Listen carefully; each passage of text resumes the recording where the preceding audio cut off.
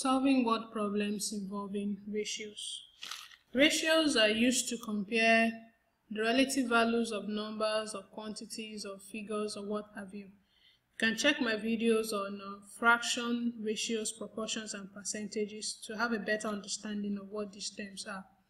But today, I want to quickly explain how to solve word problems that involves ratio. And here I have an example. This is a word problem. Now, it's a word problem because you are expected to derive a mathematical equation or an expression from this sentence, which means that you need a proper understanding and interpretation of whatever you have been given. Now, three friends, I've started to use real names because I know a lot of students, when you start seeing X, Y, and Z, that's where the problem comes in. But yes, we cannot continue to write, for instance, you cannot tell your calculator Mr. Jagbe plus Mr. Onikpan plus whatever, and somebody else in another country with another language uh, use something else. So for the sake of uh, uh, uniformity, you know, we can use X, Y, Z, and you know anytime, anywhere you are, it's the same. But for this example, we have three friends, Mr. Jagbe, Mr. Onikpanu, and Mr. Suberu, invested 100,000 naira in a business in a ratio 3 to 3 to 4. This is read as 3 ratio 3 ratio 4, which is 3 to 3 to 4. How much did each friend invest? Now, amount invested, amount invested is uh, 100,000 naira. 100,000. Now, their ratio of investment this is how a good student writes out the parameters given. If you don't want to mix things up, you don't just go straight to the answer. Is 3 ratio 3 ratio 4 or you say 3 to 3 to 4 which means somebody contributed invested three parts of the whole which is 100,000 naira the other person contributed 3 and the next person contributed 4 in this case Mr. Jagbe contributed 3 parts of 100,000. Mr. Onikwal contributed three parts of 100,000, while Mr. Suberu contributed four parts of 100,000 naira. So how do you calculate how much each friend invested? So we have the total part now. The total number of parts is 3 plus 3 plus 4, which equals to 10. Now, we have 10 parts in this particular situation. That means if Mr. Ajagbe invested three, three parts, that's 3 out of 10. That means Mr. Ajagbe, Mr. Ajagbe invested 3 out of 10. Which in this case, we are saying 3 over 10 of 100,000 naira. So 0 cancels 0. We have uh, 30,000 naira. That means Mr. Jagbe invested 30,000 naira. Same thing with Mr. Onipanu. Mr. Onipanu also invested 3 out of 10. So he also invested 30,000 naira. But now, Mr. Suberu Mr. Suberu. Note that if you are solving this for an examination, you can't do this and I'm just doing this to save time. Now, Mr. Suberu invested invested 4 out of 10, which means he invested 4 over 10 multiplied by 100,000 naira. 0 cancels 0 and he has 40,000 naira which means each of them invested, which means Mr. Jagbe invested 30,000 naira, Mr. Onipan invested 30,000 naira, while Mr. Suberu also invested 40,000 naira. When you add all this together, you get your 100,000 naira.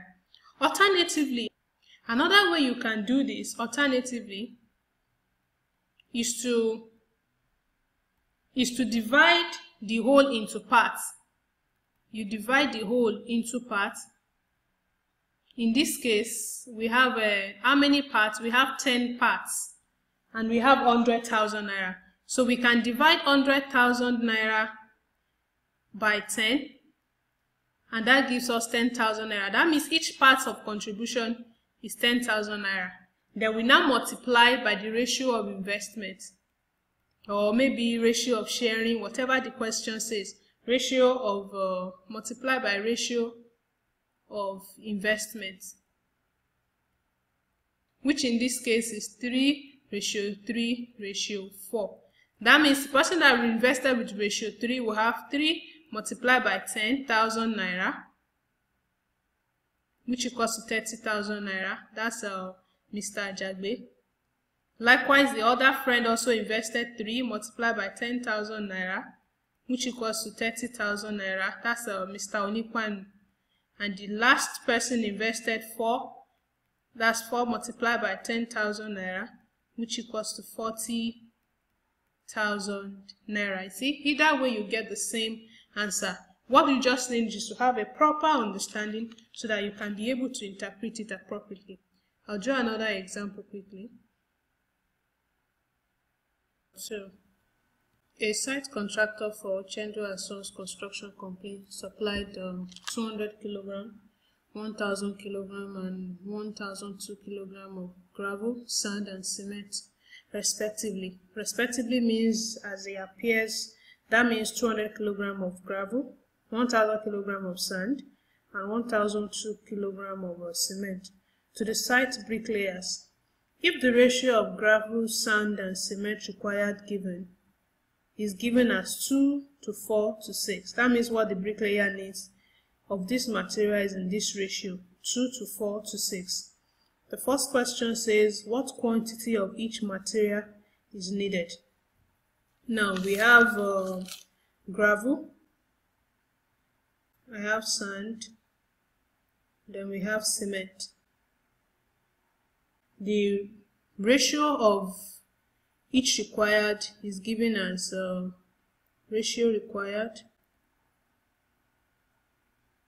Is given as 2 ratio 4 ratio 6 so this question is saying what quantity of each material is required. We can reduce this to the smallest ratio possible because uh, I think they are all multiples of each other.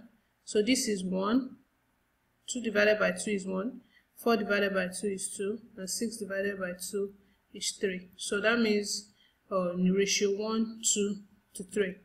And the site contractor supplied, quantity supplied, supplied, uh, he supplied 200 kilograms, 1000 kilograms of this, and we have 1002 kilograms. So what uh, we are looking for now is what quantity of each material is required. We need them in ratio 1 to 3, which means we need twice as much sand as gravel, and we need thrice as much uh, cement as uh, gravel. So if this is 1, 200 is 1, we need uh, 200 kilograms of gravel. For sand is 2, 2 times of gravel, which is 200 multiplied by 2, that will be 400 kilograms. Then for cement, we need 3 times of gravel, that will be 300 multiplied by 200, which is 600 kilograms. So this is uh, the quantity required. Quantity. So now let's try this. How much in excess of each material is supplied? Let me write it out again. I have gravel, sand and uh, cement. I have calculated the um, amount required to be 200 kilograms, 400 kilograms, and 600 kilograms in ratio 1 ratio 2 ratio 3. This is uh, amount required, or we say quantity required so now we are looking for how much in excess of which material is supplied. This is the quantity supplied. Quantity supplied. We have um, this 200 kilograms of gravel was supplied.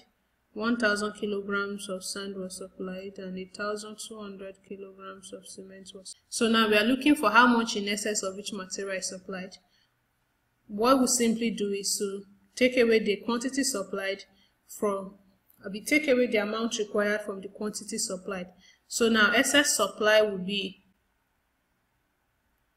200 minus 200 kilogram in the case of gravel which will leave us with nothing that's 0 kilogram here will be 1000 kilogram minus 400 kilogram in this case of sand, which will be 600 kilograms. Then 1002 kilogram minus 600 kilogram for cement. That would also be 600 kilograms. So, 0 kilogram of gravel was supplied in excess. That means they actually supplied what was required. Then sand. Okay, so we have uh, what is the ratio of each material supplied in excess? Now, um, gravel was not supplied in excess, so we have no business with that. Ratio of uh, material supplied in excess. Ratio of material supplied in excess of material in excess. So we have no business with this because uh, gravel was not supplied in excess. Now sand, 600 kilogram, cement, 600 kilogram. So what we are doing now is what's the ratio of sand to cement? 600, 600. That's same thing. So we have a 1 ratio 1. Another way to do that is remember that one part was 200 kilogram. So now we have 300 kilogram, which means 600 divided by 200 kilogram, we have 3. Same here, 3 ratio 3. 3 ratio 3 is the same thing as 1 ratio 1. So what we are saying is the quantity of sand and cement supplied in excess is the same. And don't forget that was what I started with. A ratio is used to compare the relative quantities of numbers, the relative values of numbers or quantities to in some allocation problems or sharing or distribution or whatever problems. I want to believe that video has helped you so you can share with your friends, like my Facebook page, subscribe to my YouTube channel, and I'll see you later. Bye bye.